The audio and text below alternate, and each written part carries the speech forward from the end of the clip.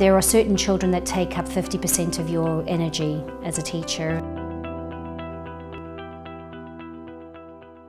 I walked into the classroom and uh, he had a chair above his head. And um, I just said to everybody else, get out the room. Everybody was quite fearful. Even trying to calm him would lead to escalating problems. I was just angry. I ran away from school.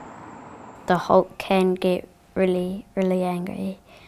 And if it gets angry, he'll just start smashing up everything. If I had teachers that had just given up,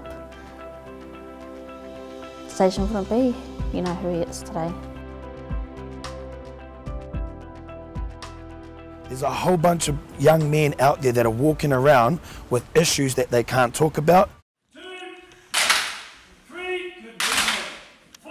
They'll hold their stance, and if they fail or if someone moves in that time slot, we start again. And while they're doing that, they're actually in a really calm state, and we talk to them about self control. We always knew there was so much potential that he just needed help um, controlling his emotions. He's come a long way. Within uh, three, four months, he was part of the class, he was leading things. It's been a, very much a joint effort, it's not just us.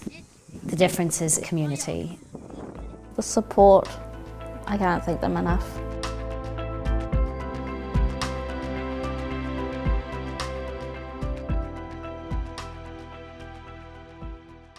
Uh, he smells yum. yeah.